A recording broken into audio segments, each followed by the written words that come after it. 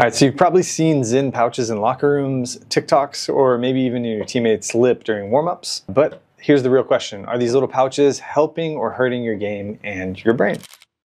I'm Dr. Mark. I work with athletes, concussion recovery, and performance optimization, and I'm here to break down the real science behind nicotine and athletic performance. So, first, why are athletes using Zyn? Zyn and other nicotine pouches are exploding in popularity, especially in team and winter sports. I know that uh, my teammates in college were always thrown in a dip or a chaw. Why? So, athletes say it helps them focus, manage stress, suppress appetite, and stay sharp in pressure situations.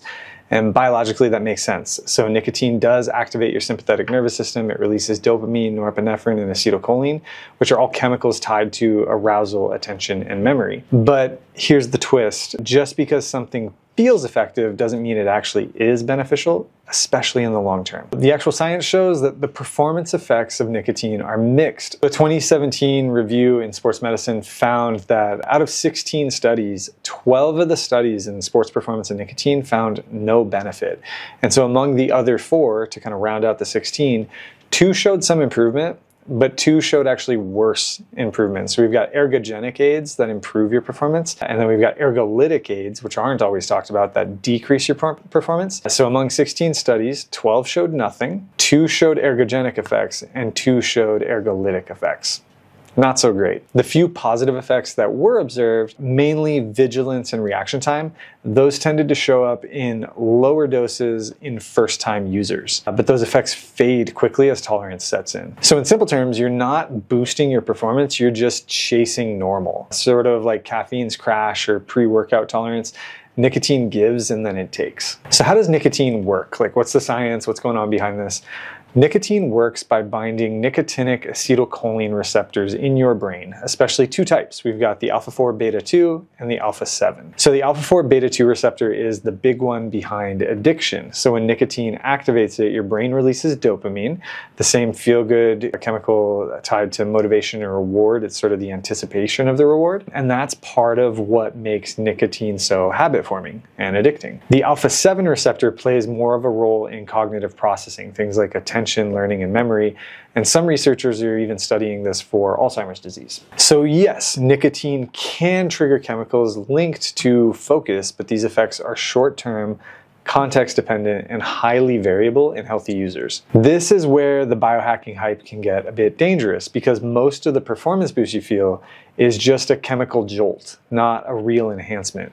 And over time, that jolt fades unless you keep upping the dose. So, this is where I'm going to sound like your dad and start wagging a finger. Nicotine is highly addictive, it hijacks your brain's reward circuits, especially in young users. So nearly one in five young adults tried nicotine pouches in 2024. So 20% of the people. Nicotine is highly addictive. It hijacks your brain reward circuits, especially in young users. In fact, nearly one in five young adults tried nicotine pouches in 2024. So if you surveyed young adults, if you surveyed five people, at least one of them had tried a nicotine pouch, and many of these people had never smoked. So that means these products aren't there to help people quit smoking. It means it's hooking new users. The big one is Zyn. So Zyn delivers three milligrams milligrams or six milligrams per pouch, but some brands actually go up to 12 milligrams. And that is a massive dose, especially if it's used repeatedly throughout the day. The health risks, you know, keep wagging my finger here, but the health risks nicotine raises your heart rate and blood pressure, which increases strain on your cardiovascular system. So for my young athletes, it means your heart is working harder, not smarter. Like it's not working harder for any particular reason. And if you're doing that under the physical stress of exercise, why? Nicotine, particularly the pouches, can also damage gum tissue and the lining of your mouth, leading to recession, irritation, and oral lesions over time. And these changes often go unnoticed at first, but over time they can both impact your oral health, but also your overall recovery. And nicotine slows down wound healing, which matters more than you think. So whether it's a cut, a bruise, stitches, or just muscle damage from training, delayed onset muscle soreness, recovery takes longer when nicotine is in the mix. There's also evidence linking nicotine use to mental and emotional effects like anxiety, irritability, mood swings, and difficulty focusing. Uh, so these effects are especially common during withdrawal or with frequent use, and they can show up in athletes even in athletes with no prior mental health history. So these aren't just long-term health risks, they're performance risks. If you're serious about mental clarity and showing up at your best, nicotine works against you, not for you. And because I work with a lot of folks dealing with concussion and post-concussion, here's a special note for you guys. Nicotine may impair blood flow to the brain. And so in concussion, during a time when the brain is already sort of in a vulnerable blood flow state and an energy deficient state, that reduced perfusion can slow down healing and potentially prolong symptoms.